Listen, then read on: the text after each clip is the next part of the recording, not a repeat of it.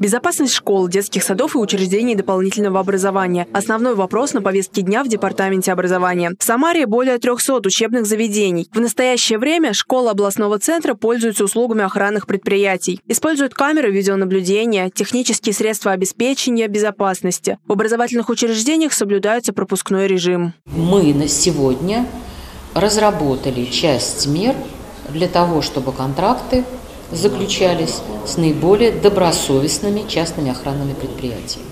В настоящее время с муниципальными образовательными учреждениями сотрудничает более 50 частных охранных организаций. Как отмечают представители Департамента образования, это компании разного уровня. Ряду с крупными организациями есть небольшие фирмы, и охват предоставляемых ими услуг менее широк. Сейчас прорабатывается механизм, который позволит увеличивать количество показателей, которым должна соответствовать охранная организация. Тем самым для недобросовестных компаний будет усложнен пропуск на рынок охранных услуг. Предполагается, что образовательные организации смогут объединяться и укрупнять контракты, что позволит объявлять конкурс, а не проходить через процедуру прямой закупки. Благодаря этому технические задания компаниям-подрядчикам будут расширены, и им придется соответствовать более строгим требованиям. Сегодня как раз межведомственная комиссия обсуждала проблематику э, физической охраны, э, потому что здесь участвует человеческий фактор, здесь э, даже при наличии ну, достаточных средств, если мы их представим,